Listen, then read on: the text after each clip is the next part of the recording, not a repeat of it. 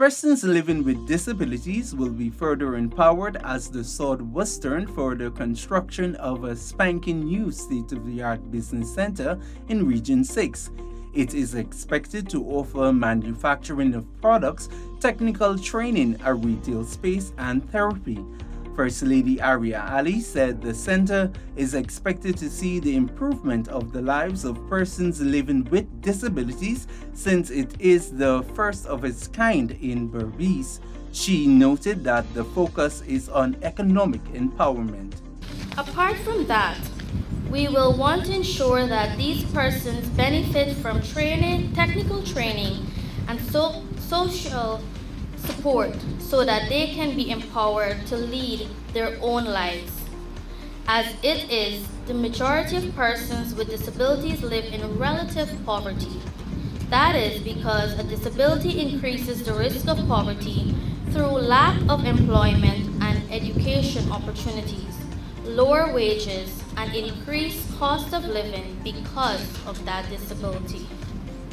That is why the empowerment of persons with disabilities is important to redefine their possibilities. Persons with disabilities must be empowered through effective engagement in economic, social, and political life, where often economic empowerment has been widely recognized as a key factor for enhancing the autonomy of persons with disabilities and their full participation in society. Meanwhile, Ganesh Singh, coordinator of the Guyana Council of Organizations for Persons with Disabilities, lauded the initiative. He said it's transformative and visionary. It's a transformative and visionary initiative. It is visionary in the sense that persons with disabilities it is something we've never seen here in Guyana.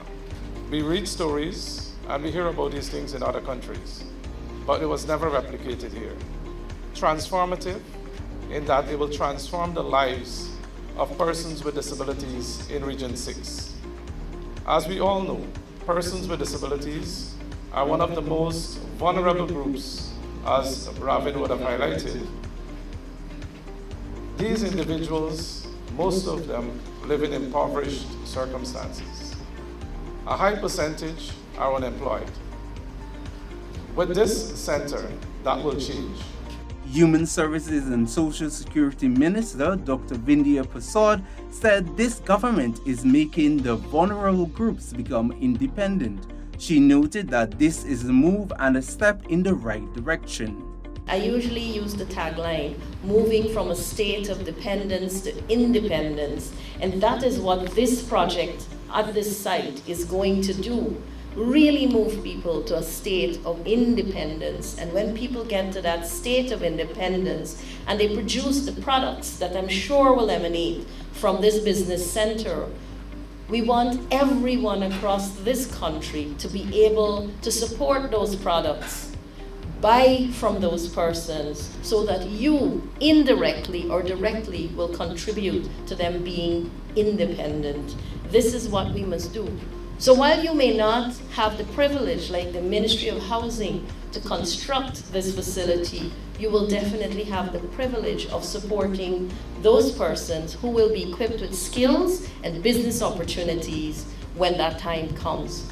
Meanwhile, Minister within the Ministry of Housing, Susan Rodrigues, noted that the business center will not only transform the lives of the persons living with disabilities, but will ensure that they can fend for themselves. They are already living a very difficult life, faced with many challenges. The least we can do is to be is to give them the opportunity for them to help themselves to do better. Chinese ambassador to Guyana, Guo Haiyan, also commended the initiative. She added that China and Guyana sees persons living with disabilities as important in their respective societies. Uh, both the Chinese government and the Guy Guyanese government attach great importance to caring for persons with disabilities and vulnerable groups through uh, social welfare, job creation, uh, poverty alleviation, uh, because we share the common value of development for all, benefit for all, inclusive uh, development, and of course, very important vision here, the One Guyana.